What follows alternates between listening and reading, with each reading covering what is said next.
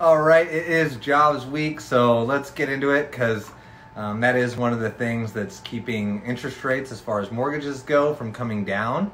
And that's why the Fed's, or what the Fed's kind of been citing as a sign that the economy's strong and why we won't be having a recession, although I don't really agree with that all too much. Uh, we got the ADP and BLS jobs reports that kind of left me with mixed feelings because we're seeing job growth, but also a higher unemployment rate. Um, higher unemployment, uh, you know, could push mortgage rates lower. Uh, it all depends on how the Fed interprets it. And uh, next week, we're going to get the Federal Reserve's beige book. That's uh, coming out, and it'll give us some more insight, and I'll update you then.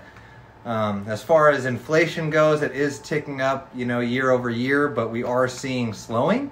And when there's, you know, a really low reading from a year ago, of course the current reading is going to look a little rough by comparison.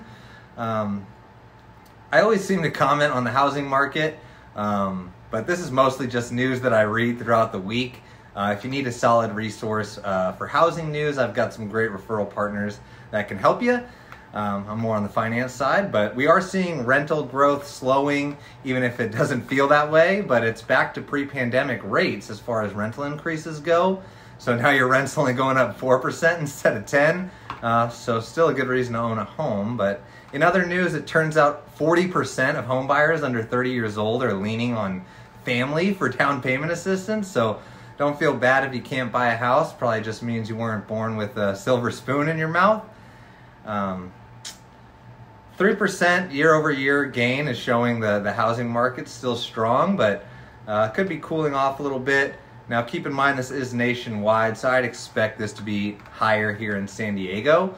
But if you have any questions or if you have any clients that you're showing homes to that haven't, you know, had a pre-purchase consultation, our team's here to save everyone's time and avoid disappointment. Uh, plus, we've got some systems for getting offers accepted so you aren't putting in 20 of them. Uh, talk to you next week and have a great weekend.